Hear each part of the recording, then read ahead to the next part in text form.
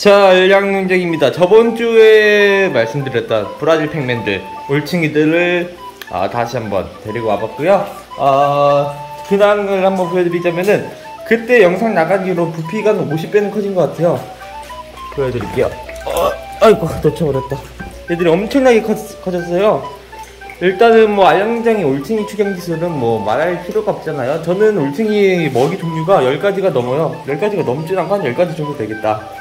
그래서 무식하게 육식성 먹이만 주는 게 아니라 이렇게 좀 초식성 먹이하고 좀 최대한 밸런스 있게 준비해서 먹이고 있고 그만큼 엄청나게 빨리 크죠. 지금 얘들 저번 주 그 조그맣던 애들에서 일주일 지난 건데 한번 정치를 보여드릴게요. 진짜 엄청나게 커졌어요.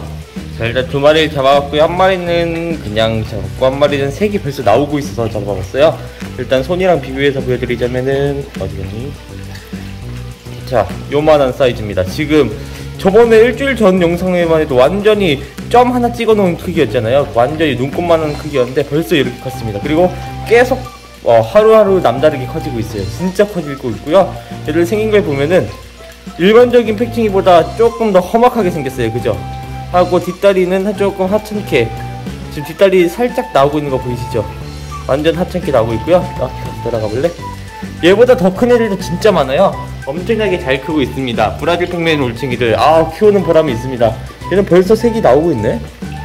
살짝 녹색빛이 돌죠.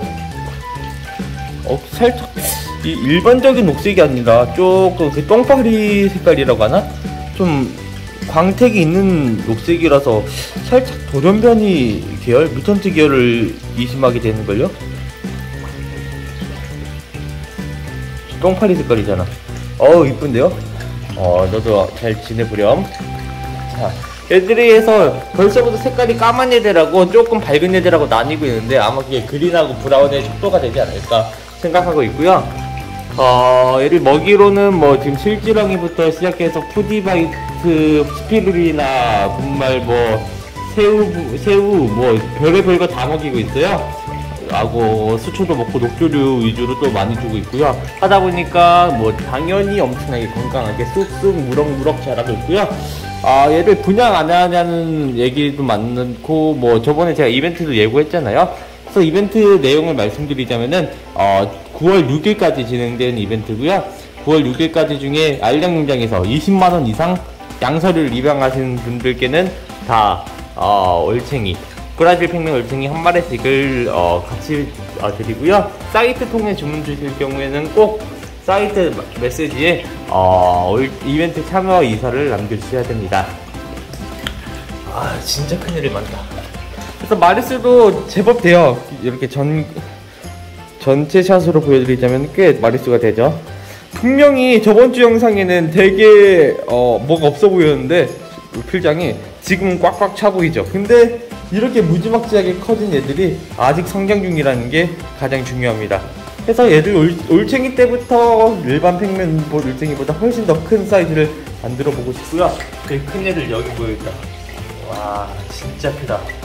벌써 팽맨 올챙이 한 2, 3주 차 많네요. 얘를 이제 한 얼마 안 되고 얘들이 광복절에 태어났는데 오늘이 26일이기 때문에 아래서부터 11일 지난 모습입니다. 상당히 잘 커지고 있어요. 하고 일단은 이벤트 그렇게 말씀드렸으니까 관심 있으신 분들은 어, 많은 참여, 많은 관심 부탁드리고요.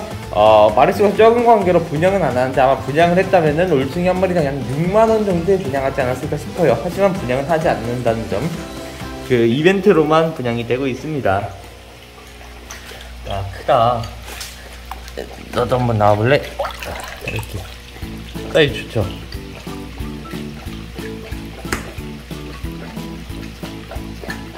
귀엽습니다.